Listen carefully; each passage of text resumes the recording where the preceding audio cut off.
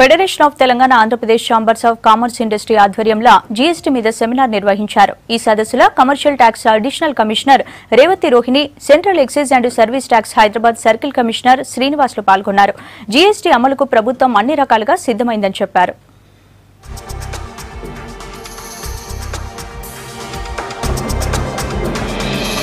GST అమలు చేయడంతో ఏడాది లోపట జీడీపీ రెండు శాతం పెరిగి ఎనిమిది శాతానికి చేరుకునే అవకాశాలు ఉన్నాయన్నారు central excise and service tax Hyderabad circle commissioner Srinivas. ప్రతి జిల్లాలో జీఎస్టీ ఆఫీస్ పెట్టడంతో పాటు తెలంగాణ మొత్తంలో యాభై సేవా కేంద్రాలను పెడుతున్నట్లు చెప్పారు. ఇప్పటికే ఇరవై మూడు రాష్ట్రాలు జీఎస్టీ చట్టం చేసినాయన్నారు. జీఎస్టీ కొత్త విధానం ఒకటి జూలై రెండు వేల పదిహేడు నుంచి ప్రారంభమవుతుంది.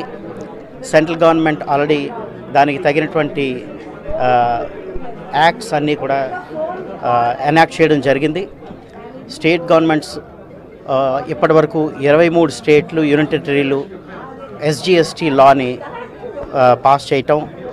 తర్వాత దానికి సంబంధించినటువంటి వేరియస్ రూల్స్ ప్రొసీజర్స్ కూడా అన్నీ అప్రూవ్ అవ్వడం. తర్వాత దానికి తగినటువంటి వేరియస్ అరేంజ్మెంట్స్ అన్నీ కూడా చేయడం జరిగింది. అన్ని రకాలుగా దేశంలో జిఎస్టీ ఇంప్లిమెంట్ చేయడం కోసం వేర్వేరు విధానాలు అరేంజ్మెంట్స్ పూర్తిగా చేయడం జరిగింది. జిఎస్ జిఎస్టీ ఒక పదిహేడు డిఫరెంట్ ట్యాక్సెస్ని సబ్స్యూమ్ చేసి జిఎస్టీగా రూపొందబడుతుంది కాబట్టి జిఎస్టీ పే చేసినప్పుడు మిగిలిన ట్యాక్స్లు ఇవి ఉండవు. ప్రతి డివిజన్లోనూ ఒక సర్వీస్ సెంటర్ వస్తుంది. హెడ్ క్వార్టర్స్ ఆఫీస్లో ఒక జిఎస్టీ సేవా కేంద్రం ఉంటుంది. నాలుగు తర్వాత ముప్పై డివిజన్స్ ఉంటాయి కాబట్టి ముప్పై కొన్ని మఫ్సల్ డివి రేంజెస్లో కూడా పెడతాం కాబట్టి సుమారుగా ఒక యాభై సేవా కేంద్రాలు ఉంటాయి.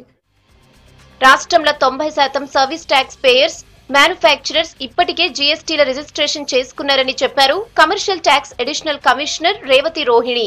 GST అమలులా కొన్ని ఇబ్బందులున్నా వాటిని అధిగమించి అమలు చేస్తామన్నారు. జీఎస్టీపై ఎసొంటి డౌట్లున్నా తాము పెట్టే సేవా కేంద్రాలల్లా క్లారిఫై చేసుకోవచ్చన్నారు. జీఎస్టీని చట్ట రూపంలోకి తీసుకొచ్చిన మొదటి రాష్ట్రం తెలంగాణ అని చెప్పారు.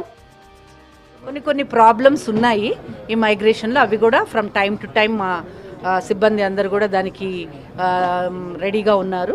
ఎవరైతే ఆ ప్రాబ్లమ్స్తో వస్తున్నారో వాళ్ళకందరికీ ప్రాబ్లమ్స్ సాల్వ్ చేయడానికి మా వంతు ప్రయత్నం మేము చేస్తున్నాము. ఇంకా జిఎస్టీఎన్ నుంచి కూడా మాకు ఏమన్నా క్లారిఫికేషన్స్ కావాలి అంటే మన ఆఫీసర్స్ ఎప్పటికప్పుడు వాళ్ళతో క్లారిఫికేషన్స్ తీసుకొని అవి మేము యూజ్ చేసుకొని ఈ మైగ్రేషన్కి హెల్ప్ అయ్యేటట్టు చూస్తున్నాము. మేము కూడా మా తరఫు నుంచి చెప్పేది ఏంటంటే అలాంటి భయాలు ఎక్కువ పెట్టుకోకర్లేదు. కానీ ఎనీ ఏదైనా కొత్త చట్టం అనేది ఇలా ఇంత పెద్ద చట్టం ఇంత పెద్ద మార్పు రాబోతున్నప్పుడు కొన్ని ప్రాబ్లమ్స్ అయితే తప్పకుండా ఉంటాయి.